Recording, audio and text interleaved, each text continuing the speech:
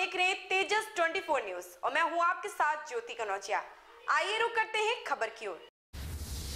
शिक्षक दिवस पर शेखाना रोड स्थित हुमेरा कॉलेज में समाजवादी पार्टी द्वारा शिक्षक सम्मान समारोह का आयोजन किया गया। कन्नौज में डॉक्टर सर्वपल्ली राधाकृष्ण की जन्म जयंती, जो कि शिक्षक दिवस के रूप में मनाई जाती है।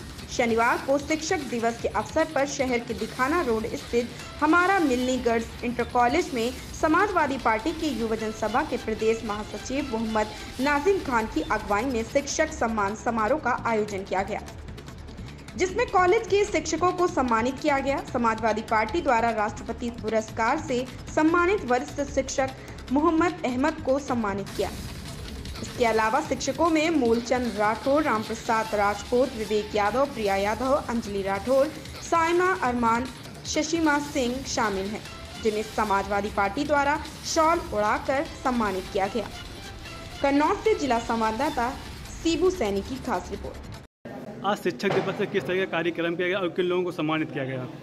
आज समाजवादी पार्टी की तरफ़ से शिक्षक सम्मान समारोह आयोजित किया गया जिसमें हम लोगों ने कई शिक्षकों को सम्मानित किया, समाजवादी पार्टी की तरफ़ से सम्मानित किया और शिक्षकों की जो मांग है, जो बीटीसी शिक्षक हैं, शिक्षा मित्र हैं, उन सब की जो मांग है, उनका सबका हम लोगों ने समर्थन किया है कि समाजवादी सरकार आने पर माननीय राष्ट्रीय अध्यक्ष हमारे अखिलेश यादव जी ने वादा किया है कि शिक्षा मित्रों और बीटीसी जो शिक्षक हैं, उनके सबका हम लोग सम्मान करेंगे।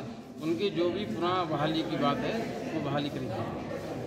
आज किस तरह का सम्मान समारोह यहाँ पर किया गया था और किन मैं लोगों का? चाहूँगी कि आज समाजवादी पार्टी के नेताओं की ओर से समस्त शिक्षकों का सम्मान समारोह किया गया और समाजवादी पार्टी ने सदैव शिक्षकों का सम्मान किया और हम लोगों ने सारे शिक्षकों को चाहे वो मौजूदा शिक्षक हों या वो बीटीसी प्रशिक्षु हों या फिर शिक्षा मित्र जिनका नुकसान किया है भारतीय जनता पार्टी ने। और हम लोगों ने समस्त शिक्षा मित्रों को यह आश्वासन दिया है कि माननीय अखिलेश यादव जी का, राष्ट्रीय अध्यक्ष जी का ये आह्वान है कि हम सत्ता में आते ही पहली कैबिनेट मीटिंग सारे शिक्षा मित्रों को एक रेगुलर शिक्षक के रूप में दोबारा से समायोजित करेंगे।